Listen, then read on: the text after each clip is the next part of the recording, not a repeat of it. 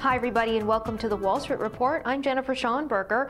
If you'd sold in May and gone away, you'd have seller's remorse. Standard & Poor's 500 stock index has advanced for seven straight months without a pullback, the longest stretch since September 2009. So far this year, the market has been able to shrug off bad news from potential instability in Italy to slowing growth in China, so much so that traders have deemed the market the Teflon market. No bad news sticks. But word on the street is it could be time to turn cautious. This is a momentum driven market based on Federal Reserve stimulus, not fundamentals. The Fed has built this rally and can drain the gains as fast as they brewed them. Just talk of dialing back the central bank's billions of dollars worth of bond purchases caused bond yields to rise and rattled stocks. Here's why. On its face, if the Fed pulled back on buying bonds, it would be a good sign the economy could stand on its own. But let's get real. Unemployment is way too high for the Fed to pull out now, yet stocks and bonds have become far overpriced as investors reach for yield.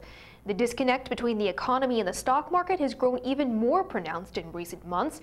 As the market makes new highs almost daily, the economy remains weak and corporate earnings have become a joke. The Fed is aware of the brewing bubbles and the potential danger they pose. The central bank knows letting bubbles fester for too long can spell trouble for the economy. So they're stuck between a rock and a hard place, and time is running out.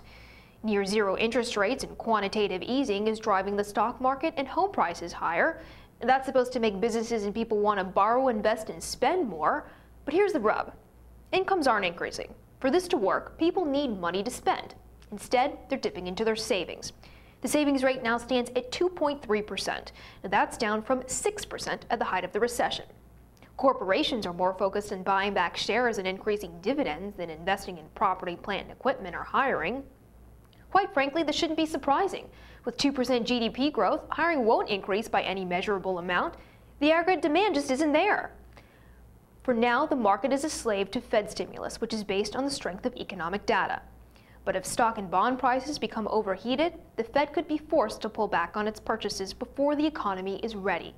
As long as there's uncertainty about the strength of the economy and whether and when the Fed will pull back, it will be a bumpy ride for investors. Folks, put on your seatbelts.